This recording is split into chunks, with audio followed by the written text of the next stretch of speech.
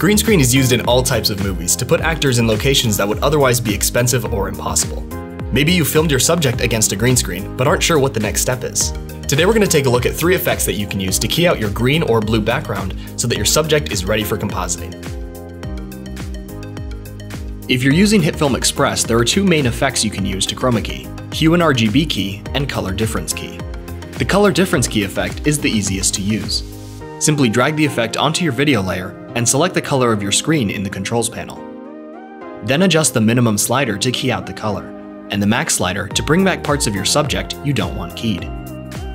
The gamma slider allows you to further adjust the balance between the two, and you can view the matte for a grayscale representation of the key. The hue and RGB key effect lets you choose whatever color you want to key out. You can then adjust the strength with the tolerance slider, and blur the edges of your subject with edge softness. If the effect is taking out similar colors that you don't want, try changing the match colors by to RGB, which will limit the range it keys. Now for the best results you're going to want to use the chroma key effect. This is in HitFilm Pro by default, and can be found in the Composite Pro Keying Pack for Express. After you select your background color and adjust the gain, the chroma key effect gives you several options to get it just right. These include settings to adjust the edges, the strength of the key, and spill suppression to get rid of any lingering color.